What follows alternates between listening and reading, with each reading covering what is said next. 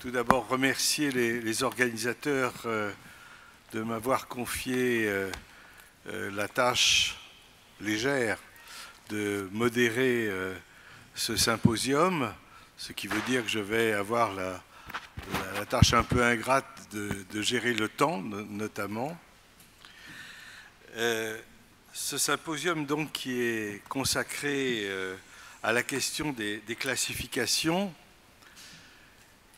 une, question euh, qui euh, a pu paraître euh, souvent dépassée, hein, une manie de, vieil aliéniste, jugée souvent de peu d'intérêt par des cliniciens, surtout s'ils sont d'orientation psychodynamique. Mais vous savez que depuis les années 1980, et la publication de la troisième édition du DSM, les classifications ont pris, qu'on le veuille ou non, qu'on en soit satisfait ou non, une importance considérable dans le champ de la psychiatrie en général, avec l'introduction de systèmes de critères descriptifs qui fondent le diagnostic, et aussi par les changements terminologiques qui ont été imposés, c'est, je crois, la, conception même de la pathologie mentale qui a été profondément modifiée et quelque part, il me semble que euh, on retrouve euh, quelque chose du très passionnant dialogue que nous avons eu tout à l'heure, euh, car il me semble que ces classifications internationales actuelles sont très profondément du côté du déterminisme, et notamment d'un déterminisme biologique. Alors comme euh, on le sait, euh, la classification internationale de l'OMS a suivi pour l'essentiel les évolutions de ce manuel qui est celui de l'Association psychiatrique américaine, et je crois que la CIM 11 ce qu'on peut savoir de la cible 11 en préparation ne va pas démentir euh, cette constatation. Donc euh, le DSM est devenu, il faut le reconnaître, euh, une classification d'influence déterminante sur toute la littérature scientifique c'est même devenu, je crois, la, référence de la formation des futurs psychiatres dans de nombreux pays. Son influence tend même à déborder le strict cadre de notre profession. Et euh, en France, en tout cas, j'ai pu constater qu'il est utilisé comme référence officielle par des administrations, par des politiques pour les projets de santé mentale, et même par des juristes dans le cadre médico-légal, et puis, à travers les médias qui s'en font l'écho, il influence profondément les représentations de l'ensemble de la société sur la pathologie mentale. Lionel Bailly va détailler l'émergence de cette classification et en discuter, je crois, d'un point de vue critique, les fondements et les conséquences. Mais face au DSM et à son influence croissante, d'autres projets se sont développés et Vittorio Lingardi présentera le très intéressant psychodynamique diagnostic manual qui se place dans une perspective pluridimensionnelle et qui vise plus à une classification des modes de fonctionnement psychique qu'à une nosographie. Et à sa suite, Mario Speranza, qui contribue également au développement euh, de ce manuel, nous parlera de l'expérience subjective dans l'approche diagnostique avec les adolescents. Avant de leur donner la parole, je crois utile de rappeler l'existence d'autres projets nosographiques que nous n'aurons pas le, temps, pas la possibilité de discuter ici, et que je ne ferai que mentionner la classification 0-3 ans qui est spécifique de la pathologie des très jeunes enfants, et la classification francophone de psychiatrie de l'enfant et de l'adolescent, la CFTMEA, qui a été développée sous la direction de Roger Misès, auquel je voudrais euh, rendre hommage ici, et qui s'appuie sur une conception psychopathologique qui cherche à repérer les structures du fonctionnement mental sous-jacente aux manifestations symptomatiques. Donc, sans plus tarder, je vais passer la parole à Lionel Bailly, que je présente rapidement. Lionel Bailly est psychanalyste et psychiatre d'enfants et d'adolescents, maître de conférences en psychanalyse à University College de London, psychiatre consultant. Ses principaux domaines de recherche sont les traumatismes psychologiques chez les enfants et la qualité de vie chez les enfants souffrant de troubles mentaux. Il s'intéresse aussi et discute la notion de preuve en psychiatrie de l'enfant et de l'adolescent et euh, il a, je crois, des collaborations actives avec des collègues de l'école de médecine de Bobigny, ainsi qu'avec euh, des organisations non gouvernementales, comme Médecins sans frontières. Il a présidé l'association francophone pour l'étude sur le traumatisme et le stress, l'ALFEST, et est membre du conseil d'administration de la Société européenne d'études euh, du stress post-traumatique. Enfin, il est membre de l'Association lacanienne internationale. Donc, son propos va être sur le DSM, les conséquences d'un instrument idéologique et les conséquences de l'utilisation d'un outil idéologique. Pardon. À vous, pour 20 minutes. Ce, matin, euh, on nous a encouragés à penser, et à penser de manière très fine et très intelligente tous les cliniciens dans cette salle savent que euh, le lundi matin, à partir de 8h30, on est souvent encouragé à ne pas penser euh, par un système euh, qui a une fonction à la fois économique et politique et qui produit qui produit, alors en anglais, des outcomes, c'est-à-dire ce que vous allez devenir. En réalité, je crois qu'il faut être tout à fait conscient qu'une large part euh, de, ce, système euh, est effectivement euh, idéologique et a une fonction. Je vais très brièvement dire que, étant maintenant un peu âgé, quand j'étais étudiant en médecine, j'ai vu l'arrivée du DSM-3. Et que, comment l'ai-je vu? Eh bien, parce que les représentants pharmaceutiques vous donnaient un DSM-3, mais pas le gros, le mini. C'est-à-dire que vous aviez seulement les critères et pas pourquoi les utiliser. Et surtout, il avait été publié à la taille de la poche d'une blouse. Donc en fait, vous pouviez faire euh, le tour des, lits dans votre unité avec le mini DSM-3. Vous demandiez au patient alors, et puis voilà, et ensuite vous cochiez les cases et à la fin vous aviez un diagnostic. Alors évidemment, si on apprend la psychiatrie comme ça, euh, eh bien, euh, les résultats, le outcome euh, va être très lié. Alors, bien sûr, les fonctions d'une classification, on sait qu'elles ont à voir avec l'épidémiologie, les critères de recherche, l'assurance, la politique de santé. Le DSM-3 est très important à, ce sujet parce qu'aux États-Unis, la, santé privée demande un numéro de diagnostic pour pouvoir ou pas rembourser ou payer pour les soins. Donc c'est très, c'est une importance tout à fait différente de celle qu'elle a en France ou en, euh, Grande-Bretagne. Euh, alors l'OMS, bien sûr, euh, qui, produit l'ICD, mais qui maintenant est un, je vais m'amuser à dire, un valet de l'impérialisme, c'est-à-dire qu'en fait, ils suivent à quelques années d'écart la DSM et puis ils bricolent un petit peu pour montrer qu'ils sont quand même différents, mais peu.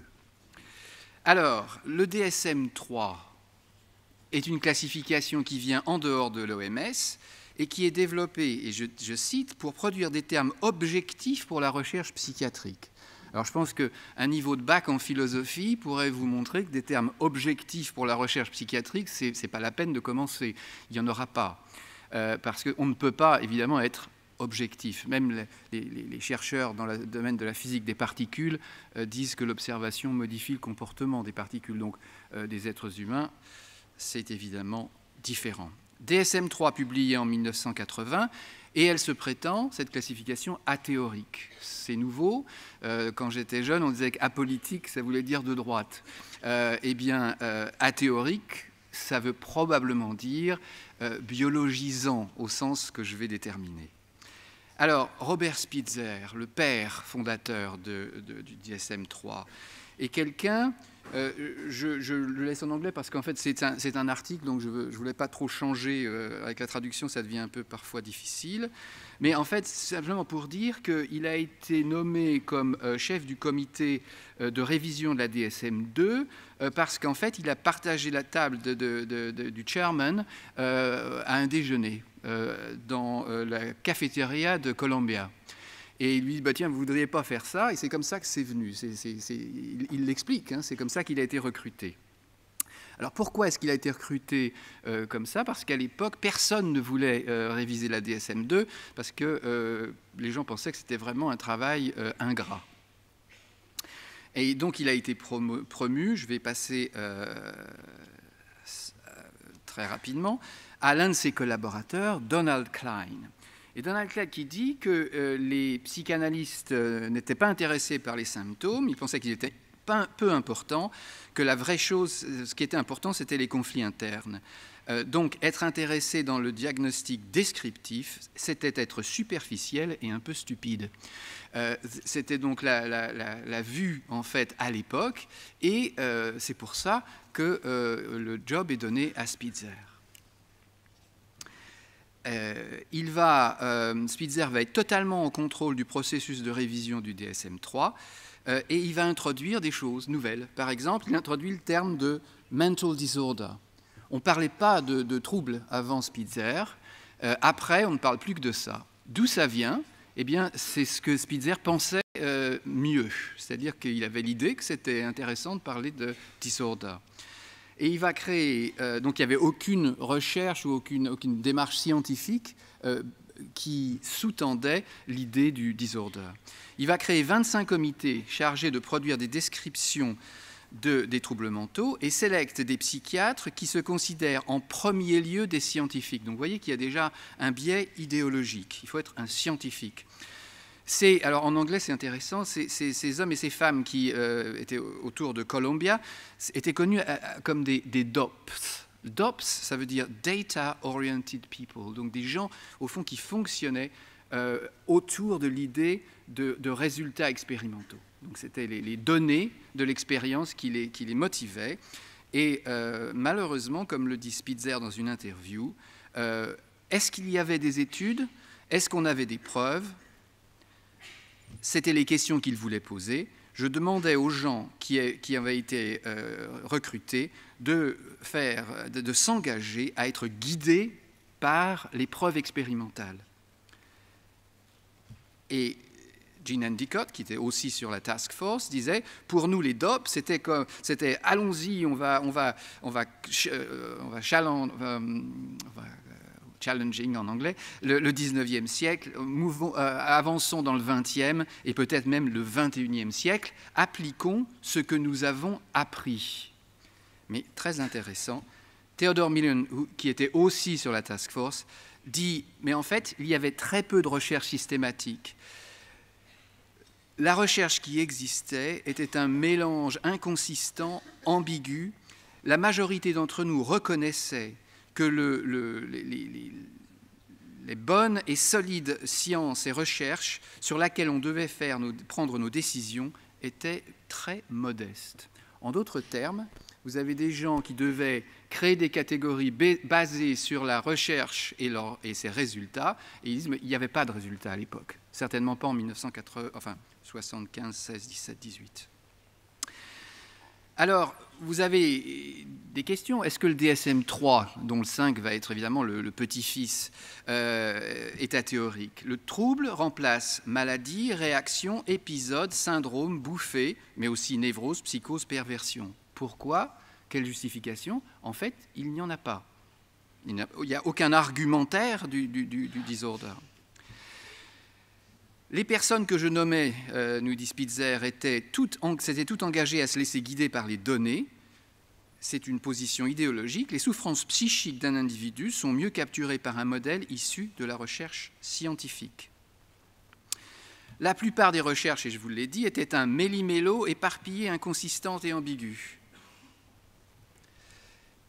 Euh, pour vous donner une idée des, positions idéologiques des membres de, ce comité, de la task force, Donald Klein, qui dès 1962 et 64, donc des années avant, avait en fait créé le terme d'attaque de panique, c'était son, bébé en quelque sorte, pour décrire des accès aigus d'angoisse. Donald Klein euh, va euh, être sur la task force des troubles de l'anxiété. Et qu'est-ce qui se passe? Eh bien, euh, la névrose d'angoisse et les accès aigus d'angoisse disparaissent. Et quel terme est utilisé? Attaque de panique. De nouveau, pourquoi? Ben, Parce que Klein, c'était ce qu'il utilisait. Mais en termes de recherche, ce qu'il montre, c'est simplement qu'un certain groupe de patients répond différemment à un certain type d'antidépresseurs, qu'on utilise d'ailleurs plus beaucoup maintenant. Mais quand on demande à Donald Klein en, 1996 quelle est votre recommandation pour le traitement des troubles paniques en pratique clinique, il dit j'utilise d'habitude l'imipramine. Voilà, c'est sa première réponse, c'est le, principal message de, Klein, c'est utiliser l'imipramine. Donc on voit que c'est tout à fait, alors pourquoi pas, mais c'est tout à fait euh, idéologique et basé sur une vue biologique et, assez réductif de, l'anxiété, et sur ce que, à l'époque, et il n'est pas le seul, euh, ça, a diffusé un peu en France, le médicament va analyser le comportement. Donc on vous donne une substance, et si vous répondez, ben, vous êtes dans ce groupe-là, si vous ne répondez pas, vous êtes dans l'autre. Alors, euh, maintenant, ce qui est intéressant, c'est que Klein avait aussi des idées très importantes sur euh, la dépression, mais elles ne sont jamais passées dans le DSM-3. Et pourquoi? Ben, Il dit parce qu'en fait, euh, j'ai perdu le vote. Alors vous dites, je ne suis pas très sûr. C'est-à-dire qu'en fait, le comité se réunissait et il votait sur les décisions. Donc, euh, plutôt que d'être un processus scientifique, c'était quelque chose de, l'ordre des décisions d'un petit groupe euh, de la task force. Ces décisions sont d'ailleurs gardées par l'American Psychiatric Association. Ils ont toujours les débats et les votes pour les catégories. Vous pouvez les, si vous êtes historien, vous pouvez aller les consulter. Alors, euh, pour euh, simplement mentionner que la Société britannique de psychologie, qui n'est pas très amie de la psychanalyse, a quand même, euh, en 2011, fait une lettre ouverte en, disant qu'ils étaient très, très concernés par l'abaissement des seuils diagnostiques pour toute une série de troubles. On craint que cela puisse conduire à l'application d'explications médicales à des expériences normales et aussi à l'utilisation inutile d'interventions potentiellement dangereuses. Donc ça, c'était la, la vue, on va passer, euh, de, la Société britannique de psychologie, hein, je, dis bien. Maintenant, un exemple, on va prendre le, trouble Autistic Spectrum Disorder, trouble du spectre autistique. Et le, diagnostic, maintenant, qui apparaît donc dans la DSM-5 euh, et pas avant. Euh, eh bien, ce diagnostic révisé, nous disent les auteurs, représente une nouvelle et plus précise médicalement et scientifiquement utile façon de diagnostiquer les personnes souffrant de, troubles liés à l'autisme. Vous voyez, liés à. Tout d'un coup, c'est plus l'autisme. Alors, euh, ce qui est intéressant, c'est que evidence-based medicine, ou la, médecine basée sur les preuves, c'est quand ça va du côté de ce que je voudrais démontrer. Si ça va à l'encontre, on l'enterre. Sainte-Marie euh, et beaucoup d'autres auteurs à Toronto et Montréal en, 1900, en 2002 pardon, euh, font une recherche excellente sur justement essayer de quantifier euh, les, questions du, spectre autistique et ils trouvent en fait que ces résultats sont incompatibles avec la notion d'un simple spectre clinique de variation, de variation clinique. Donc en fait, il n'y a pas un euh, spectre autistique, il y en a plusieurs ou pas du tout. Cette recherche est très solide, elle est publiée dans le journal de l'American Academy euh, of Child and Adolescent Psychiatry. Et à partir du moment où elle est publiée, à, partir, euh, à, part quelques personnes comme moi qui la citent, plus personne ne la cite. Elle disparaît de l'histoire de, la recherche.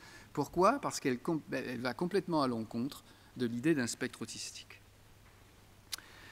Alors, le groupe de travail, dans, sa sagesse, estime qu'un trouble unique permettra d'améliorer le diagnostic des TSA sans modifier la sensibilité des critères, ni substantiellement augmenter le nombre d'enfants diagnostiqués. Alors, les symptômes, je vous propose de regarder les critères C, doivent être présents au début du développement, mais ne peuvent pas devenir pleinement manifestes jusqu'à ce que les revendications sociales dépassent les capacités limitées ou peuvent être masquées par les stratégies apprises en fin de vie. C'est-à-dire qu'en fait, vous allez pouvoir maintenant diagnostiquer des enfants très âgés avec un trouble autistique qui jusque-là, finalement, n'avaient pas forcément été symptomatiques. Ça, c'est absolument nouveau. Alors, on doit préciser s'ils sont accompagnés ou non d'une déficience intellectuelle, et avec ou sans trouble du langage. DSM-5. Hein. La sévérité doit être aussi déterminée. Alors, 3, c'est très important, 2, substantiel, et 1, on a besoin d'un soutien. Donc, en d'autres termes, on va pouvoir diagnostiquer par exemple un enfant de 12 ans qui n'a jusque-là eu aucun symptôme autistique, mais qui tout d'un coup se met à avoir des difficultés, sans trouble de langage, sans difficulté cognitive et avec une sévérité de niveau 1. Alors, si vous arrivez à faire ça sans augmenter le nombre d'enfants diagnostiqués, je, voudrais savoir. Euh, simplement, une 2008, 2009, 2016, 2017. Ça, ce sont des données, j'allais dire, qui sont euh, différées, dans le sens où c'est le ministère de l'Éducation et le, nombre d'enfants, en fait, pour lesquels ils vont payer pour euh, un soutien scolaire particulier, parce qu'ils euh, ont un trouble autistique. Eh bien, vous voyez, alors ce qui se passe, c'est qu'entre 2008 et 2016-2017, les critères, euh, d'abord, euh, le, terme trouble autistique Asperger décline au profit de troubles du spectre autistique. Et les critères non publiés filtrent tout de même et commencent à être utilisés avec notamment le soutien de certaines organisations qui poussent dans cette direction. Eh bien, qu'est-ce qui se passe? Pas d'augmentation de la prévalence, nous promettons. Déjà, entre 2008 et 2016, ou 2009 et 2017, les ministères de l'Éducation payaient pour 1,2% euh, des, des, enfants, 1,9% des garçons, 0,4% des filles. Eh bien, vous voyez une augmentation générale de 108%, euh, pour les garçons 105% et pour les filles 150% avant que officiellement, c'est toujours pas officiel en fait, puisqu'en fait le, service de santé anglais devrait utiliser l'ICD, mais euh, en fait, en réalité, ce sont les critères DSM qui sont utilisés, notamment par les pédiatres, beaucoup moins par les psychiatres. Et ce qui est intéressant aussi, c'est que les besoins diminuent de 74% à 63%. Donc vous avez 100% d'augmentation qui, en fait, conduisent à une réduction des besoins. C'est-à-dire qu'en fait, les enfants sont de moins en moins symptomatiques, ce qui est assez intéressant. Euh, d'un point de vue, je vous rappelle, donc on a quand même, euh, si je reviens à cette, 3,9% euh, des garçons hein, dans le... Si vous voulez une, bonne étude épidémiologique, celle de Crohn, en, en 2002 en Californie, 5000 enfants diagnostiqué avec un trouble autistique, cette fois-ci, ce sont les critères de trouble autistique, pour 5, 4 500 000 naissances en Californie, donc ce n'est pas un échantillon, c'est toutes les naissances d'une année en Californie, ce qui donne 1 pour 1000, environ 1.1 pour 1000 pour la prévalence de l'autisme, qui était la prévalence qu'on m'avait appris à l'école euh, quand, quand j'apprenais ma psychiatrie, 0,1%. Alors, si on compare ça avec presque 4%, vous voyez que c'est une augmentation de 4000%. Ça, donc, entre, disons, les années 80 et maintenant. Maintenant, dans la réalité de la pratique clinique, voici ce que je reçois, euh, une lettre il y a quelques semaines, je, l'ai inclus dans, euh, dans, cette présentation. Pouvez-vous voir ce garçon qui est juste en dessous du seuil pour le spectre autistique? Alors là, vous voyez, euh, je me dis, mais je ne sais plus ce que ça veut dire. C'est-à-dire en dessous du, seuil pour le. Donc il est légèrement, un tout petit peu, il a un, parfum autistique. et c'est ce qui est en train de se passer euh, dans l'est de l'Angleterre où je travaille en ce moment cliniquement. Et où, de manière anecdotique, c'est simplement anecdotique, mais en ce moment, environ un tiers des références des enfants qu'on reçoit, euh, il y a dedans la, lettre, le, mot on the autistic spectrum. Au point que maintenant, euh, c'est pratiquement comme dire il a un problème. Alors, les lettres disent il est sur le trouble autistique et il est anxieux. Ou alors, il est sur le trouble autistique et il a des troubles obsessionnels compulsifs. Ou il est autistique et il est déprimé. Donc en fait, on ne regarde même plus euh, le et on dit, bon, bah, dépression, euh, obsession, compulsion, etc. C'est-à-dire que ça devient, c'est devenu pratiquement un, mot du langage courant. Et le problème étant que euh, malheureusement, on voit, et notamment chez des collègues, une perte de connaissance, une perte de savoir, où les enfants, alors retard mental, avec des troubles du comportement, ils sont tous envoyés comme référés comme autistiques. Un enfant avec une, des troubles cognitifs sévères, euh, c'est perdu, c'est ma dernière. Euh, trouble de l'attachement, et, notamment euh, attachement désorganisé, alors là, c'est pareil.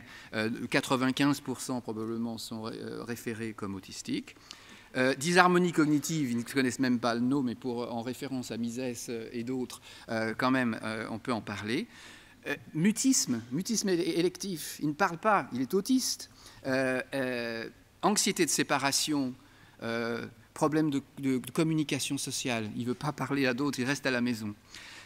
trouble obsessionnel compulsif du jeune enfant, ça alors c'est pareil, il a des rituels, il est très répétitif, il est autistique.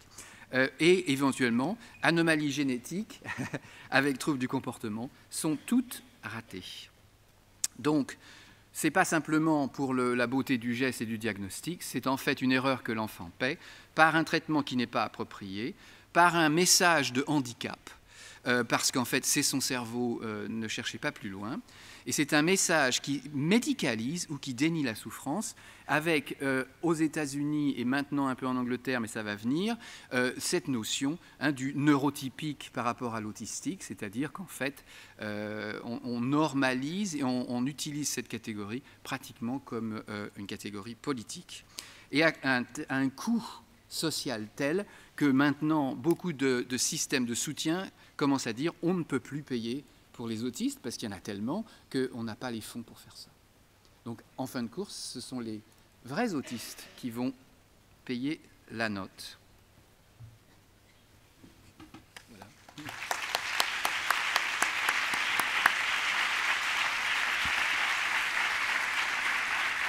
Merci.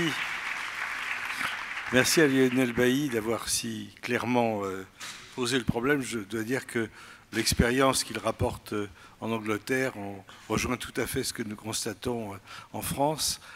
Euh, est-ce qu'on a le, temps, j'espère, pour une ou deux questions ou commentaires qui souhaitent intervenir? Ah, Ou on peut, si vous voulez, garder les questions pour la fin? Tout le monde est d'accord avec ça? Garder les questions. D'accord. Alors, je vais tout de suite passer la, parole euh, au professeur Vittorio Linguardi, qui est psychiatre et psychanalyste, professeur titulaire de psychologie dynamique à la faculté de médecine et de psychologie de l'Université Sapienza de Rome. Avec euh, Nancy McWilliams, il a coordonné la nouvelle édition du psychodynamique diagnostic manual qui a déjà été publié aux États-Unis en 2017 et dont nous attendons la, traduction euh, en France. Hein, peut-être que Mario Speranza pourra nous en dire quelque chose. Il a fondé euh, le groupe italien pour l'avancement du diagnostic psychodynamique. Il est membre du comité de révision scientifique de l'édition italienne du DSM5 tout de même et du comité de rédaction de euh, la maison d'édition de son université. Euh, ses intérêts cliniques et scientifiques euh, portent sur l'évaluation diagnostique et le traitement des troubles de la personnalité, la relation thérapeutique et l'évaluation empirique du processus psychothérapique, psychodynamique et psychanalytique. Il a publié bien sûr de nombreux articles et ouvrages sur ces sujets. Donc je lui passe la parole sur euh, le, le, titre de son exposé, c'est Donner du sens au diagnostic, présentation du manuel de diagnostic psychodynamique. Good morning to all the people, and I'm sorry I will speak in English because uh, my French is très mauvais and my Spanish is uh, something like a caricature of uh, an Italian speaking in Spanish. So I will do, I will try to, to communicate uh, with my second language that is English. And I think that after the presentation made by our colleague, uh, the, this title is, uh, is quite uh, fitting because uh, we are trying to make diagnosis meaningful, actually, and not just uh, a sort of automatic and bureaucratic aspect of our profession. But let's start from this uh, observation from uh, Nancy McWilliams. She said that uh, for many therapists, and maybe for someone also in this room, diagnosis is a dirty word because diagnosis means uh, oversimplification, diagnosis means uh, reification of the patient, uh, diagnosis means uh, keeping distance from the real anguish and the real pain of uh, uh, our patients, making them sort of object for study.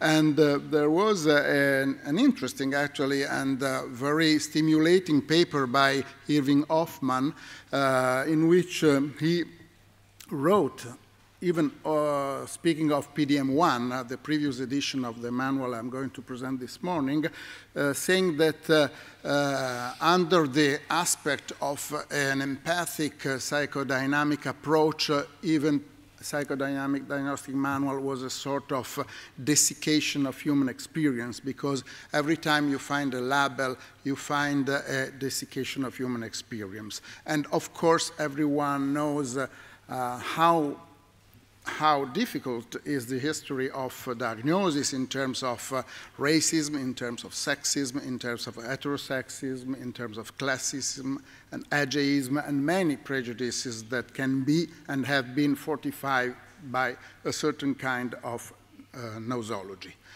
And last but not least, uh, I agree with uh, this beautiful sentence by Virginia Woolf in her diaries when she said, even if she was a great uh, writer about characters and personalities, that uh, it is no use trying to sum up people. Actually, it's really impossible to sum up someone in one word or even in one page of description. But at the same time, I think that uh, diagnosis is helpful for communication, for communicating, and for understanding and knowing the patient uh, you are in front of you. Of course, if you use the etymologic meaning of diagnosis, that is knowing through and I think that this true has a lot to do with the relational experience of the diagnostic meeting, the diagnostic alliance that is the first step toward the diagnostic alliance, the therapeutic alliance. So when, when we say making diagnosis clinically meaningful, we, we want to, to list some aspects uh, that we can consider the guidelines, the theoretical guidelines of our PDM2 enterprise.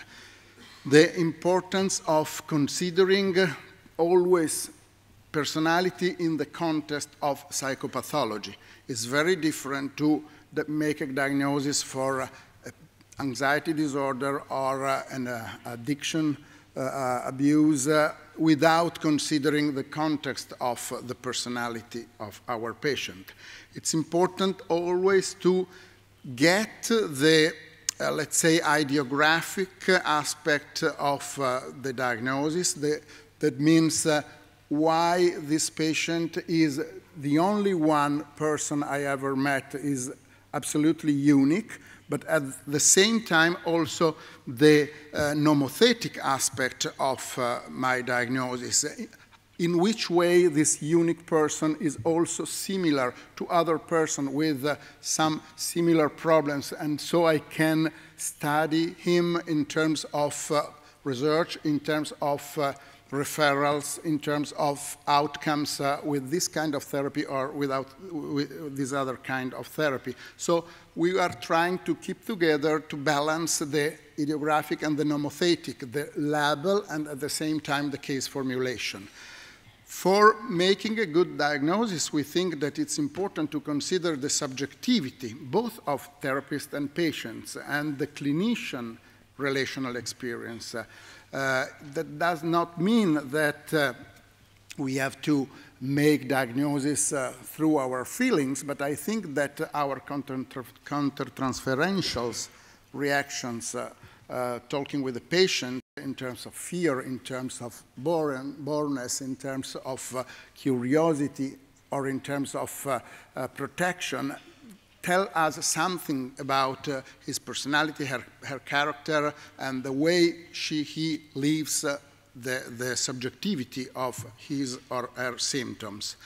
Of course, we know, and uh, we had the, the previous panel talk a lot about the constitutional and the biogenetic aspects of uh, our symptoms and of our personality. At the same time, we have to be able to read them in the context of uh, the level of personality organization and the styles of personality, the capacity, the mental functioning.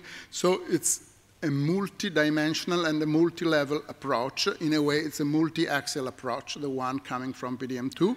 And uh, uh, one more thing I want to say is that we uh, decided to include in our manual I will describe it in a very few minutes. Also, some tools, some tools coming uh, made explicitly, ex expressly for PDM2, and other um, taken from uh, the, the, big group of tools uh, our community can use in order to make a little sharper, in order to make more specific the investigation for this or that area we are going to uh, investigate and uh, to diagnose.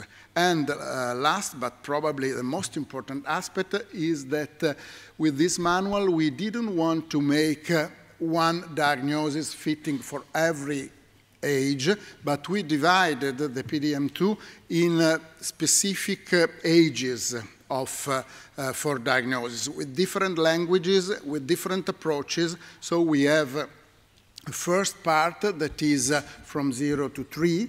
The second part is from 4 to 11.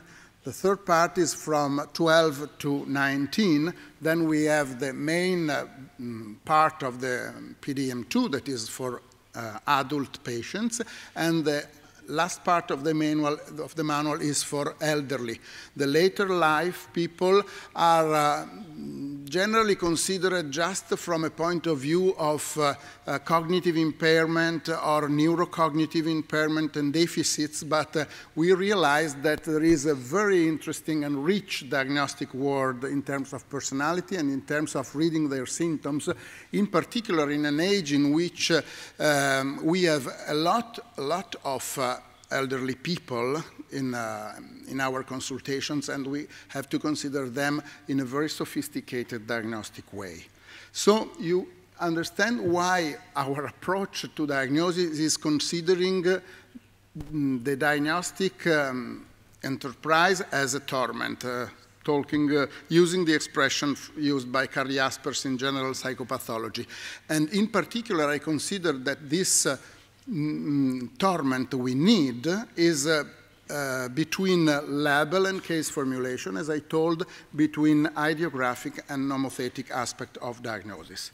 Of course, we live uh, in a very particular time for diagnosing, from uh, the, the, big season of the DSM, from uh, DSM-4 in 1994 to the DSM-5 a couple of years ago, and uh, the uh, EC ICD. But uh, a couple of um, diagnostic suggestions coming uh, mostly from uh, the clinical psychologist, the psychodynamic psychiatrist, like uh, Shedler-Weston assessment procedure for personality and, pers and psychodynamic diagnostic manual. I think they will, is, is something like David and Goliath, but uh, at this point I think that they are mm, they are uh, attracting clinicians uh, toward uh, a different uh, approach to diagnosis.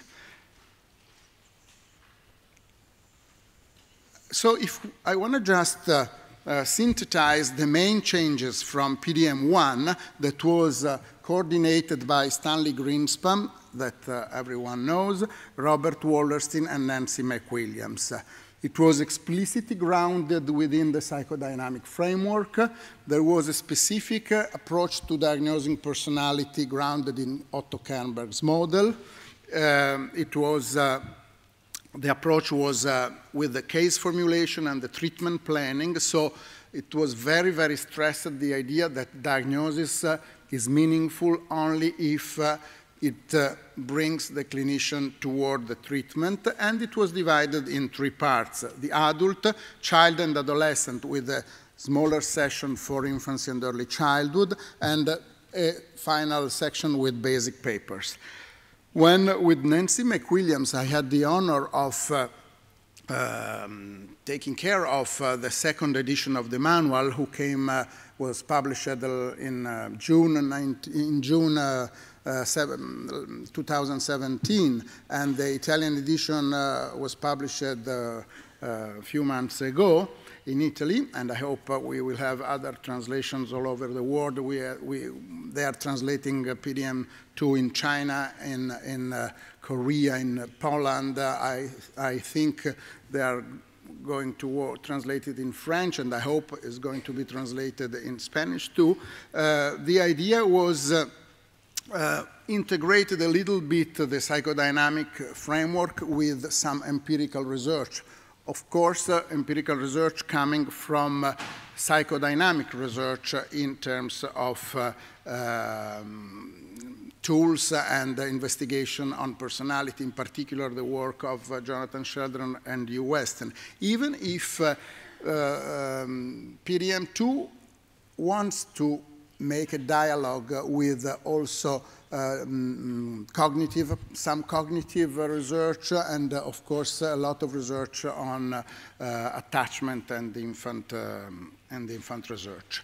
Then we modified this very simple uh, structure of the manual in a more complex, more uh, detailed in terms of ages, as I told you, and also more detailed in terms of tools and assessment tools, and also more integrated with the expression, with the exposition, uh, the writing, the narratives of clinical cases and clinical formulation. So in this is much more clinician friendly than the previous manual that was a little bit, let's say, academic and far away from our everyday practice in terms of tools and in terms of uh, clinical cases.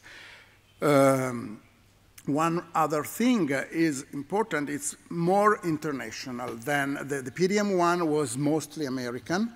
And uh, in this case, it's a very European and American enterprise. And, and that was very interesting also in terms of dialogue uh, of different approaches and different culture. It's, uh, I don't have time to explain, but for example, when we start to work on the elderly section, it came out a sort of uh, uh inter interesting discussion between the European approach more pessimistic toward elderly people and the American approach more maniac about uh, the, the elderly people. So we have to, to find solutions in order to integrate also cultural aspects of diagnosis. Um, so if I, if I have to synthesize in a couple of words what is PDM2, I would say that uh, while DSM is a taxonomy of disease or a taxonomy, better a taxonomy of disorders, I think that uh, PDM2 is a taxonomy of people with uh, a problem, with a disease, with a syndrome, with a, a, personality style that doesn't work, and so on. So it's, the focus is on the subject. The focus is on the relation and on, on people more than on a, a taxonomy of disorders. In this way, our, our, uh, the, the miracle we're trying to do with this kind of diagnosis is to consider more who one is rather than what one has. And uh, for doing this, uh, we, um, we used, um, I think that the best way is just to show you the faces of people who made the PDM2 and also the different sections so you can understand how is built the manual. We start with this uh, um, adulthood section and Jonathan Shedler with Nancy McWilliams made the personality section. With Bob Bornstein from uh, Adelphi University, I uh, prepared the mental functioning section and the symptom patterns uh, that is a sort of rereading of DSM and ICD labels uh, on the light of a psychodynamic approach to symptoms. For example, affective patterns, uh, for example, cognitive patterns, relational patterns, somatic patterns. So is a sort of uh, rereading the usual labels in terms of symptoms. Then we have the adolescence section from 11 to 18 uh, that was uh, written by Mario Speranza, he's here with us, for, with, uh, by Norca Malberg, Johanna Malone, and Nick Midgley from London.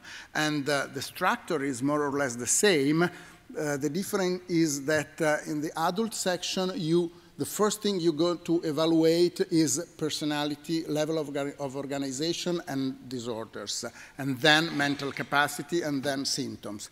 With the adolescent, with the children, and also with the elderly, you start with the evaluation of uh, the mental capacities because personality is considered for children and adolescents more from the aspect of an emerging pattern. So you can't use it as the main door to enter into the diagnosis. The main door is how the different, there are 12, I will tell you which are the, the, the mental capacities, how these 12 mental capacity organize the psychological life and relational life of our patient. Children are made uh, in the manual by Norca Malberg, Larry Rosenberg, and Joanna Malone. Larry Rosenberg is a colleague uh, working in um, children's psychotherapy. And the Zero Tree is made by Anna Maria Speranza and Linda Mayes, and the later life is made by Franco del Corno and Daniel Plotkin. Daniel Plotkin is interesting uh, to have him with us because uh, at the end of the PDM1, one, uh, there was a presentation in 2006, uh, and someone said, but Daniel Plotkin asked to the, to the, to the speakers, um, why you didn't include a session about elderly people? And Nancy McWilliams told me, I looked around and I saw Otto Kernberg in his 80s, uh, Stanley Greenspan in his 80s, uh, Bob Waller, uh, Sidney Blatt in his 80s, and I said probably a massive denial mechanism, so we didn't include it. But this time in PDM2 is included also the elderly people. Then we have an assessment tools, as I told you, session and the clinical illustration. Uh, um, i mean, it's very hard to give you more specific details. Uh, I just want to tell you that, for example, the personality approach goes from the level of personality organization, so from neurotic, borderline, or psychotic organization, and then the styles. And uh, for the styles, in this case, we used the Shedler-Weston approach in internalizing spectrum, externalizing spectrum, the borderline and the dysregulated spectrum, and the character styles.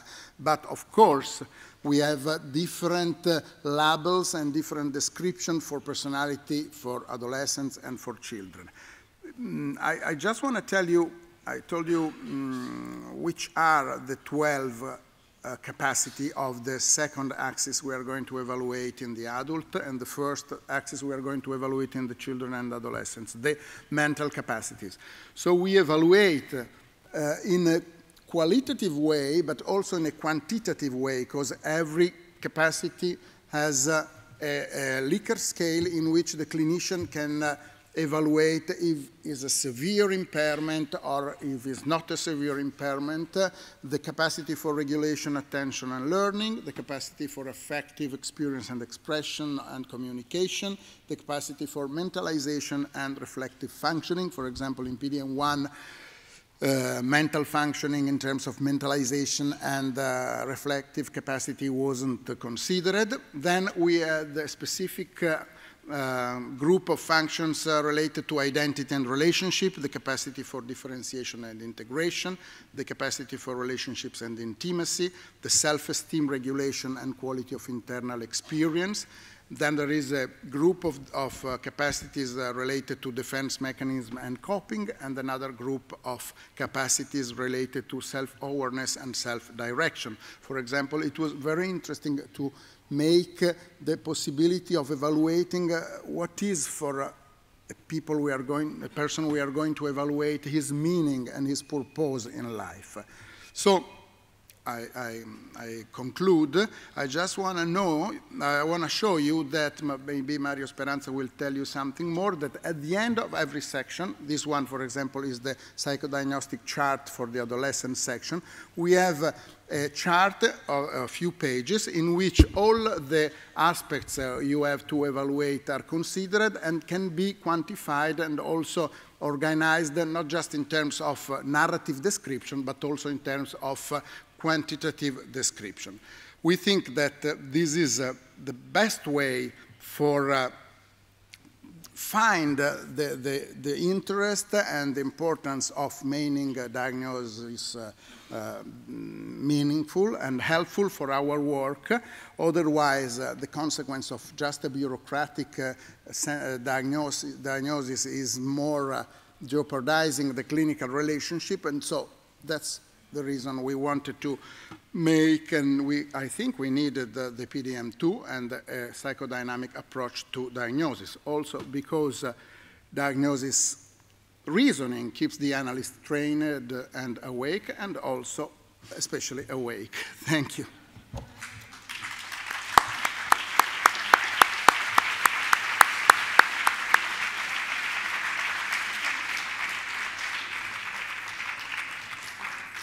Merci euh, Vittorio pour euh, cet exposé qui nous fait approcher de la richesse de, cet instrument. Euh, d'une toute autre nature, on le voit, que les classifications qui sont les, plus en usage actuellement. On pourra discuter, j'espère, après. Je vais passer la parole à Mario Speranza. Mario Speranza, qui est professeur de psychiatrie de l'enfant et de l'adolescent à la faculté des sciences de la santé de l'Université de Versailles. Il dirige le département de psychiatrie de l'enfant et de l'adolescent au centre hospitalier de Versailles et il dirige l'unité de recherche sur les résultats de la santé dans les troubles cognitifs, mentaux et moteurs, toujours dans cette même université. Il s'intéresse aux effets sur la santé des troubles neurodéveloppementaux et euh, aux investigations neuropsychologiques des troubles du développement. Ses collaborations de recherche actuelles euh, concernent l'unité de cognition et de sciences cérébrales du MRC de Cambridge, euh, le département de pédopsychiatrie du King's College de, Londres et l'unité INSERM 669, euh, santé mentale des adolescents, du professeur Falissard. Il est président élu de l'Association internationale de psychiatrie et de psychologie de l'adolescent et vice-président de l'AEPEA. Et il va nous parler de l'expérience subjective dans l'approche diagnostique en psychiatrie de l'adolescent. Merci euh, de cette introduction. Euh, c'est un plaisir de participer à, ce symposium. Euh, mon propos va se situer peut-être à, à l'interface entre les deux présentations précédentes, essayant de voir comment, bien qu'on puisse avoir une approche critique de l'approche catégorielle du DSM, il y a aussi des éléments intéressants que le DSM nous permet de construire, tout en tenant compte de limites, de l'ouverture nécessaire à un diagnostic euh, qui soit davantage centré sur la personne et pas sous des catégories qui sont en partie des euh, euh, décisions politiques, comme ça a été évoqué. Mais d'abord, je voulais rappeler quand même que la pédopsychiatrie, qui est peut-être la plus belle discipline qui existe euh, et le plus beau métier du monde, euh, est caractérisé par une certaine complexité. Euh, et nous sommes des experts de la complexité, il faut qu'on puisse le revendiquer. nous sommes à l'interface entre un certain nombre de processus qui touchent au sujet en termes de processus cognitifs, affectifs, comportementaux, mais chez des sujets qui sont en développement, qui, qui maturent, qui changent, un lien avec des environnements, évidemment des environnements proximaux, euh, les caregivers en particulier, euh, mais aussi un certain nombre de contextes socio-économiques, religieux, politiques, culturels, éducatifs, qui sont eux-mêmes en transformation. Et donc, euh, nous devons intégrer cette complexité qui est loin d'être simple. Donc, notre métier, c'est de traduire cette complexité euh, d'une manière suffisamment claire, pragmatique, pour décider comment intervenir. Donc nous sommes peut-être des experts, euh, des théoriciens de la pragmatique de l'action, euh, et il faut peut-être davantage centrer notre propos là-dessus. Alors, mais qu'est-ce que c'est un diagnostic? Et donc, je voudrais quand même euh, vous passer quelques images un peu de comment on peut concevoir la notion de diagnostic de façon générale. Et je vais vous donner quelques exemples euh, caricaturaux, euh, mais qui aident à comprendre comment il faut complexifier cette démarche qui est la nôtre au quotidien. il y a différentes conceptions du diagnostic. Et donc, je vais essayer de vous donner quelques exemples de ces conceptions, commençant par la conception bayésienne probabiliste. alors, et ça, c'est peut-être un modèle qui est beaucoup plus proche de celui du DSM. Il y a une association statistiquement significative de symptômes dont on sait euh, qui ont tendance à se maintenir dans le, temps, mais surtout à produire des effets à distance. Donc il y a quelque chose qui est une probabilité accrue de retrouver certains symptômes associés avec des impacts et de devenirs qui sont euh, connus. Euh, je prends un exemple euh, basé sur euh, des études de devenir, le fameux TDAH, qui peut, avec des associations symptomatiques, aboutir par des systèmes en cascade et par des trajectoires particulières, aboutir à des troubles qui sont également, d'un point de vue statistique, associés, que ce soit les troubles oppositionnels, les troubles de conduite, la personnalité antisociale à l'âge adulte. En effet, ça, c'est des réalités statistiques. Qu'est-ce que ces éléments nous disent sur la réalité de ce qui se passe, sur les mécanismes, sur l'expérience que font les personnes de ces associations symptomatiques? Mais malheureusement, très peu. Mais j'aurais tendance à dire que c'est un premier niveau et ce n'est pas quelque chose qui est forcément incompatible avec une démarche scientifique, et au contraire, peut-être c'est une première démarche nécessaire pour un processus qui est bien plus complexe. En effet, on peut avoir, euh, euh, avec cette même approche, une perspective beaucoup plus fonctionnaliste et pragmatique. C'est-à-dire que, je reprends un exemple autour du TDAH parce que c'est relativement simple, on sait que l'association statiquement euh, significative de certains symptômes peut aboutir à des devenirs et qu'avec une intervention simplifiée comme un traitement pharmacologique, on peut modifier l'outcome, l'issue, euh, par exemple, réduire la présence euh, quelques années plus tard d'un trouble comme une dépendance à des produits chez des sujets s'ils sont ou pas traités. Donc là, on est dans une démarche pragmatique qui nous dit peu sur les troubles, peu sur les personnes, sauf que ça nous permet de changer des trajectoires qui sont parfois contraintes par un certain nombre de facteurs. Mais là aussi, ça ne nous dit pas grand-chose sur ce qui se joue et ce qui se passe au quotidien pour les enfants qui sont dans ces trajectoires statistiquement significatives.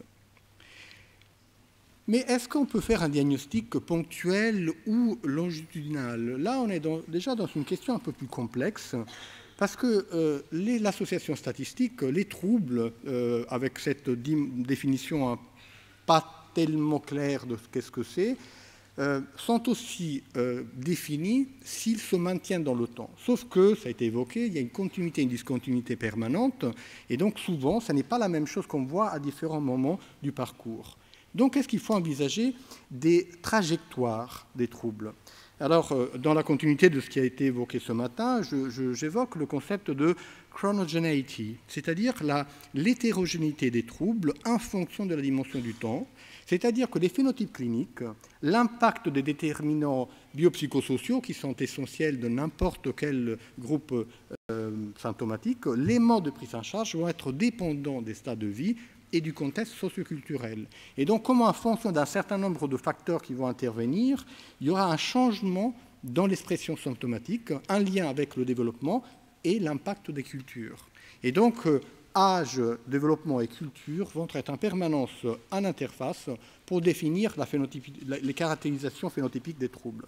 Pour vous donner deux exemples relativement simplifiés, euh, il y a dans la conception neurodéveloppementale de la schizophrénie l'idée que la schizophrénie est un trouble qui se manifeste à l'âge adulte, jeunes adolescents, jeunes adultes, avec un certain nombre de caractéristiques, mais en effet, ça serait un trouble qui se construit avec le temps, ou qui peut-être s'exprime différemment à certains moments du développement en fonction des compétences qui sont sollicitées, euh, en fonction d'un certain nombre de facteurs d'environnement. Et donc le trouble va se manifester cliniquement de façon différente euh, dans l'enfance, à l'adolescence, euh, en fonction des exigences et des maturations cognitives et cérébrales qui vont être présents en parallèle. Et donc on pourra avoir un trouble qui ne s'exprime évidemment pas de la même manière chez l'enfant euh, ou chez l'adolescent, par exemple, et qui va se construire, comme on le connaît de façon plus claire à l'âge adulte, seulement à partir du moment où un certain nombre de facteurs vont être euh, au premier plan. De la même manière, euh, on sait que c'est un diagnostic, on ne peut le faire que dans le temps.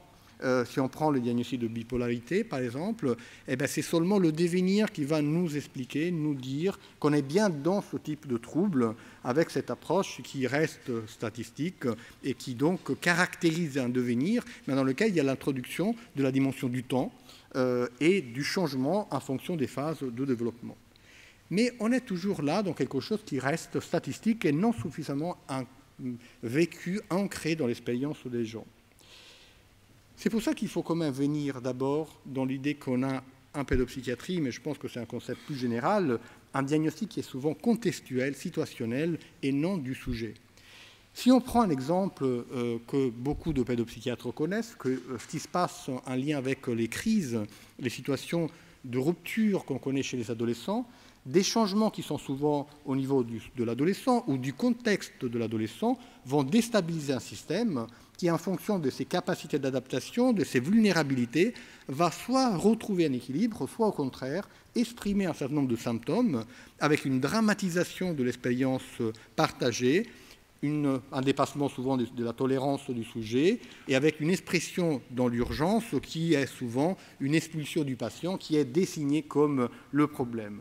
Et on voit que là, c'est une euh, euh, décontextualisation, si on ne fait pas attention, au fait que ce n'est pas le sujet, l'adolescent qui présente un problème, euh, mais c'est le contexte, c'est le système qui n'est pas capable d'accepter un changement euh, en raison de ses fragilités, de ses contraintes internes.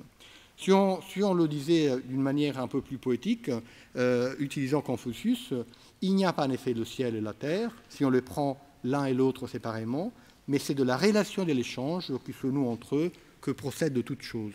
Donc on est vraiment dans l'interface entre l'individu et l'environnement euh, euh, nécessaire.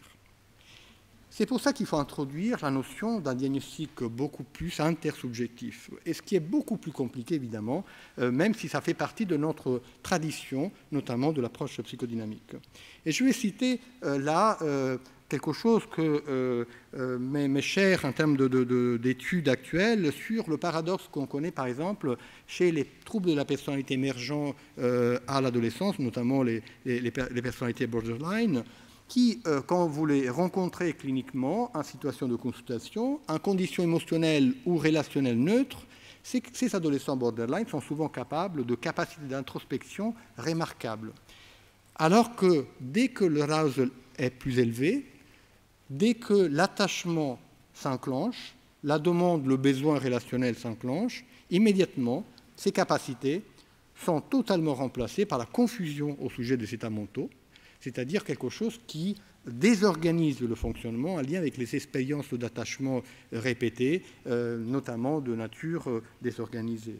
Et d'un fonctionnement contrôlé, introspectif, mentalisant, on est dans quelque chose qui devient automatique, avec une expression symptomatique dont on connaît la violence euh, en termes de souffrance personnelle et de dynamique de symptomatique. Et donc là, on voit que le diagnostic n'est plus un diagnostic du sujet, c'est un diagnostic de la dynamique qui existe entre le sujet et l'environnement, dans des contextes spécifiques qui sont en lien avec l'expérience euh, relationnelle passée, présente et future du sujet. Et donc, euh, évidemment, on est dans une dimension beaucoup plus complexe parce qu'il faut intégrer non seulement cette dynamique intersubjective, les diagnostics ne deviennent que des diagnostics de situations relationnelles, mais aussi l'expérience que le clinicien lui-même joue et comment il participe à l'expérience du patient euh, est capable donc de générer les troubles chez le sujet euh, et non seulement comme un observateur extérieur neutre. Ce qui me permet d'arriver à la dernière partie, euh, qui est le diagnostic psychopathologique, euh, qui peut peut-être être conçu comme une intégration de l'ensemble de ces euh, différents paramètres. Je prends un autre exemple pour que le dialogue soit plus simple, le modèle de la dépression et l'inscription et la compréhension de la dépression dans le cadre du développement de la personnalité.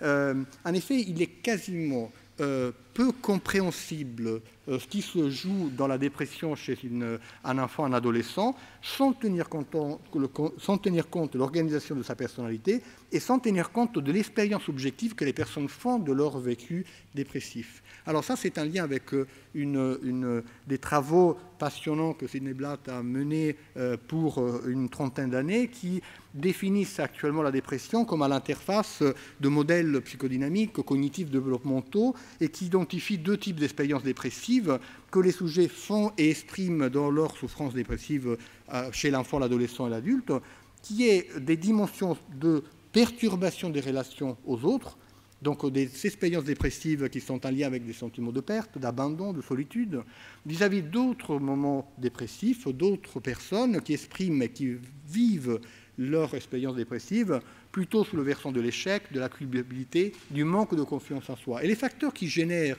ces situations dépressives ne sont pas tout à fait les mêmes.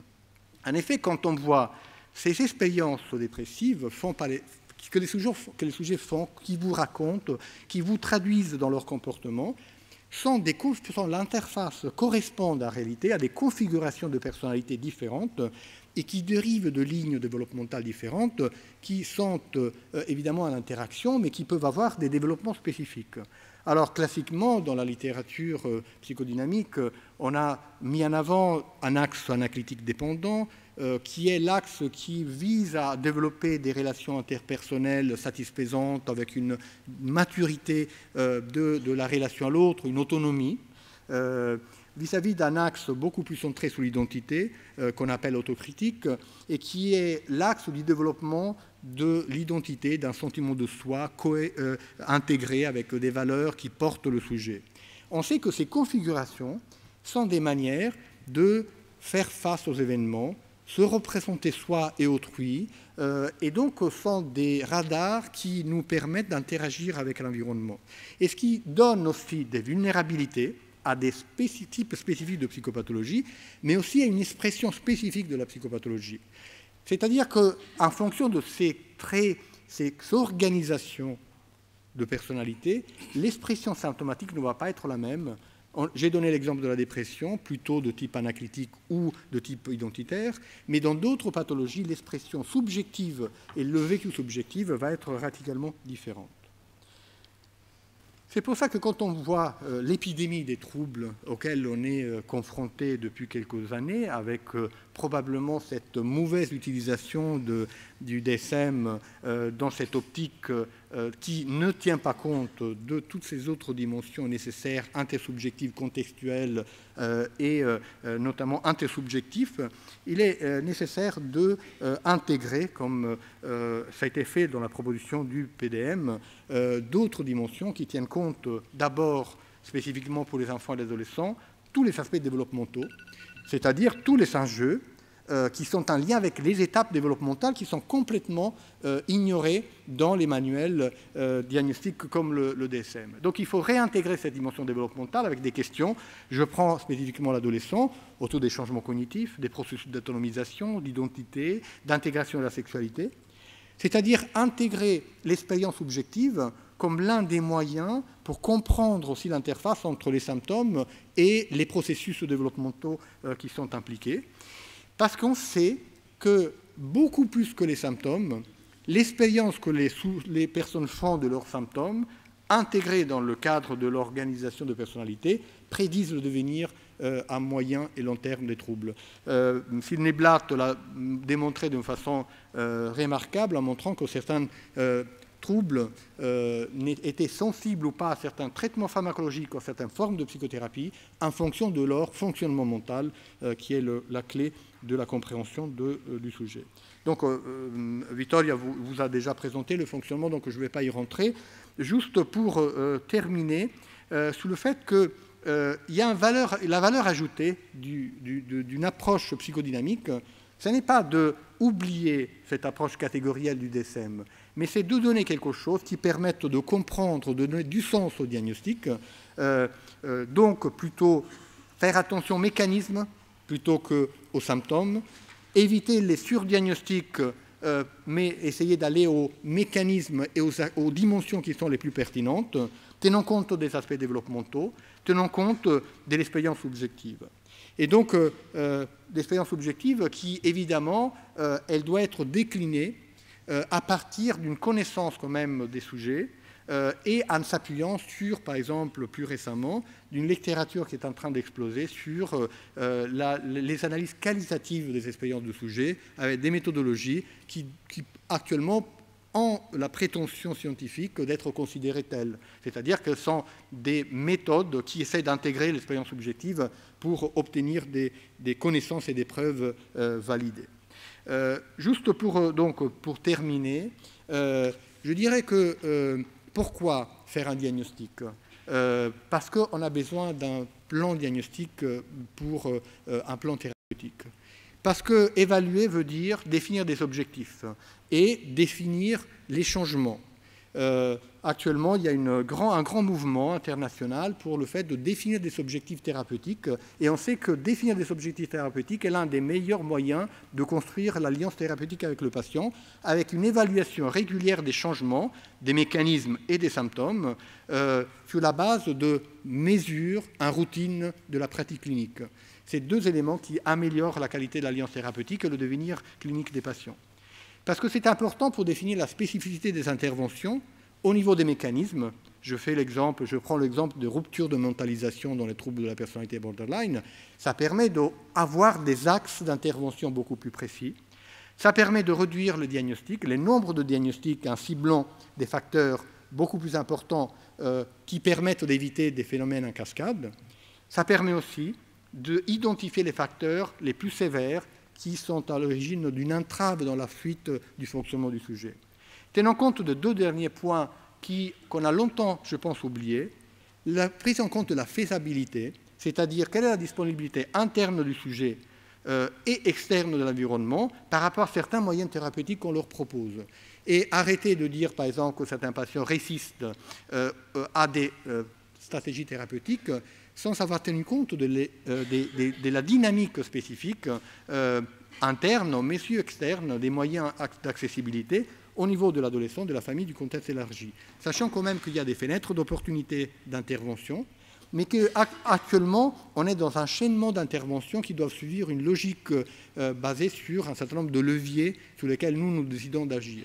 Ce qui veut dire qu'on peut utiliser des stratégies symptomatiques, des stratégies euh, individuelles au niveau du sujet, euh, psychothérapiques, on peut utiliser des stratégies contextuelles, environnementaux, systémiques, familiaux au niveau de la société, à condition de savoir euh, à quel moment on fait quoi, avec quelle stratégie, en s'appuyant sur les données basées sur les preuves, dès que cela est possible, ce qui est malheureusement une limite forte. En effet, je terminerai comme disait Winston Churchill, c'est que le véritable génie, du clinicien, je dirais, réside dans la capacité à évaluer des informations qui sont souvent incertaines, dangereuses parce qu'ils impliquent des choix et souvent contradictoires. Mais nous avons, je pense, une créativité en tant que clinicien pour permettre d'intégrer ces différents niveaux. Je vous remercie.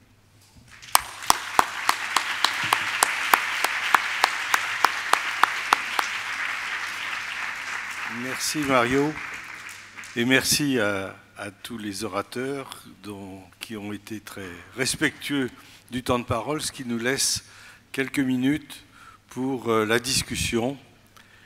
Qui souhaite intervenir dans la salle? Je ne sais pas s'il y a des, micros. Peut-être pour, euh, euh, lancer un peu la discussion, je voudrais rebondir sur ce que disait Mario Speranza en, introduction, en soulignant la, complexité de la pédopsychiatrie, qui est peut-être de ses spécificités. Est-ce qu'il ne faut pas, du coup, s'inquiéter de la disparition quasi complète dans les classifications internationales officielles hein, la CIM 11 euh, va euh, apparemment le, euh, faire comme le DSM, disparition des sections spécifiques à l'enfant. Elles étaient déjà très limitées dans le DSM 4 et la l'ICD 10.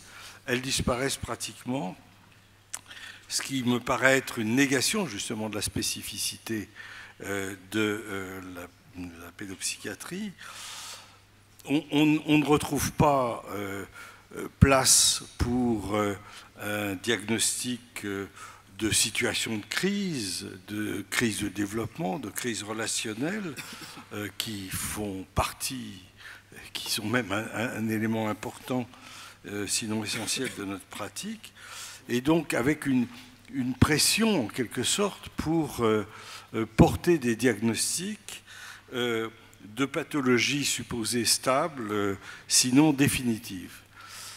Hein, je crois qu'il y, a vraiment là aussi, même, euh, je dirais, un dommage en quelque sorte euh, qui peut être porté aux enfants. J'aimerais avoir les, commentaires, vos commentaires là-dessus. Ah, je peux peut-être répondre à ce point du point de vue du PDM. nous avons dans quasiment toutes les sections, mais avec un intérêt particulier chez les enfants et les adolescents, intégré une partie sous les situations de crise contextuelle, euh, donc qui mettent l'accent sur le, la dynamique entre l'enfant et l'environnement, plutôt que sous le diagnostic de l'enfant lui-même, comme s'il était porteur de quelque chose, alors que c'est quelque chose qui est beaucoup plus diffus au niveau de l'environnement qu'il partage. D'autres commentaires là-dessus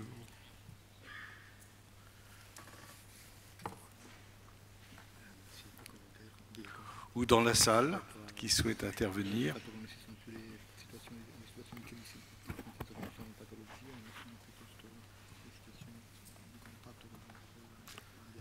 Yeah, sorry, the, the translation system wasn't working very well. Well, the idea of uh, dynamic diagnosis is that is dynamic not just uh, in the theoretical uh, meaning, but also in the uh, chronologic and the timing uh, and the different situation, we know that is a very different thing to make a diagnosis in an emergency room or uh, in your, uh, after many consultations, uh, interviews. It's different to make a diagnosis in a changing moment of your life a, at a certain age or when your personality and your general life is more settled, is more. So our hope, uh, going back to PDM, uh, is that uh, all these different situations, all these different dynamics of diagnosis uh, are taken in consideration in order to arrive to a definition when it can be helpful but also in order to arrive in a sort of uh, wait and watch position when it's more helpful for the treatment. Uh, I think that uh, it's an everyone uh, experience uh, working with patients uh, to be able to make a diagnosis after five minutes, after five weeks, or even after five months.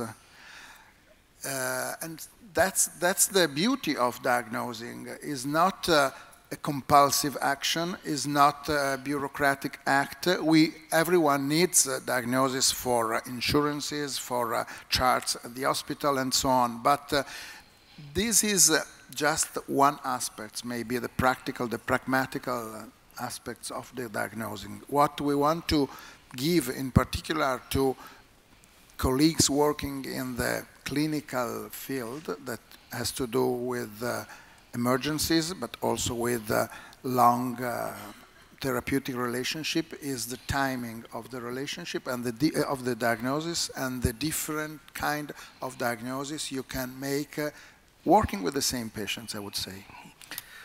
Oui, mais euh, je, dans, dans, la mesure où euh, vous dites que le PDM euh, se situe en quelque sorte à côté mais accepte en quelque sorte les, le, DSM pour justement ces diagnostics, pour les assurances, pour hein, tous les aspects administratifs, il me semble qu'il y a un danger quand même et qu'on peut se poser la question, même si c'est peut-être une, tâche très difficile, de l'intérêt d'une classification spécifique à l'enfance qui prenne en compte euh, dans, sa, dans sa nosographie, dans sa terminologie, des aspects du développement. C'est le cas du PDM, dans lequel il y a justement une partie bébé, enfant et adolescent, avec euh, des dimensions qui sont spécifiques aux étapes de développement. Après, c'est évidemment un travail à devenir. Euh, pas, ça ne va jamais être quelque chose de définitif. Et c'était justement l'objectif qu'on a posé. Lionel, vous vouliez ajouter quelque chose? Oui, je, voudrais juste faire un, commentaire sur le PDM. Pour moi, la, question, c'est comment euh, s'assure-t-on que le PDM va être utilisé? Et par exemple, comment peut-on faire pression sur les pouvoirs publics pour dire le système de santé cesse d'utiliser l'association, la, classification de l'association américaine de psychiatrie et move, euh, move pardon, et, change pour le PDM. C'est-à-dire que ce seront les codes PDM qui seront utilisés par l'assistance publique hôpitaux de Paris, par exemple. Vous voyez? Ça, ça, à mon avis, c'est extrêmement important. Oui, madame.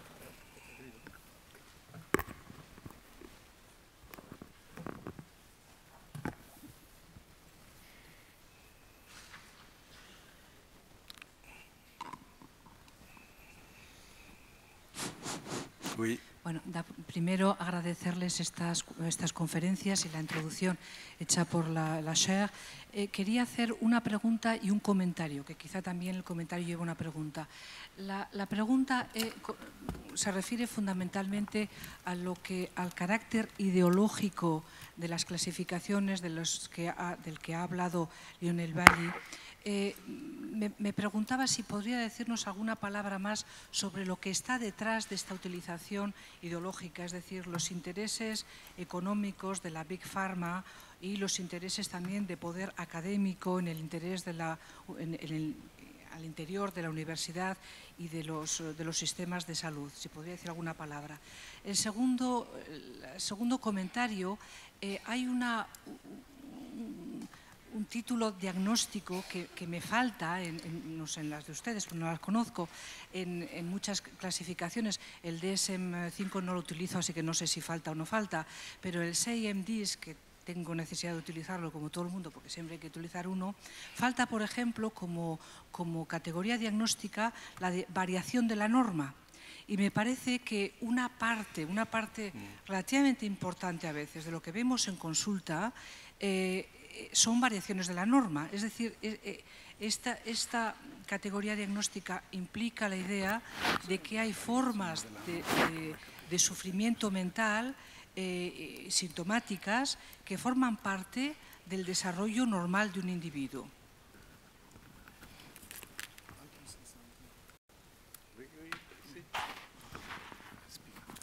Well, a couple of comments about your interesting questions. The first one is that probably because we don't have a big pharma, we will not be so represented uh, in the public uh, uh, world of and the institutional world of diagnosis.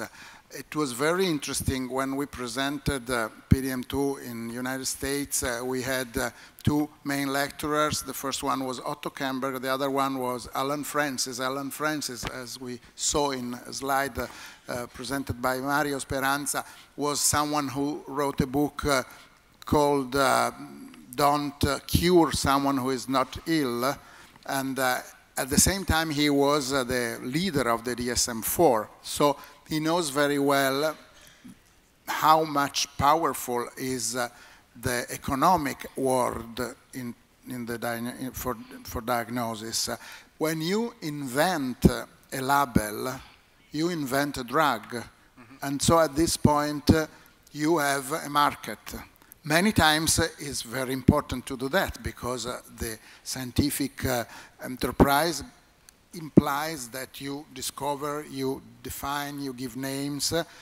of course, the, the balance, the relationship between uh, uh, science, uh, clinical work, and market and economy and drugs, big pharma, is a, a very wild world. I think that we cannot live in a situation in which we are not aware that uh, science and economy has an important relationship, but we, I think that we, part of our profession has to do also with this ethical and deontological approach in uh, creating, uh, uh, dismantling in a way, deconstructing in a way this link that is an existing link. Uh, the other the other question uh, has to do with uh, what is normal. If I have well, if I have well understood what is normal, what is not normal in terms of diagnostic um, definitions.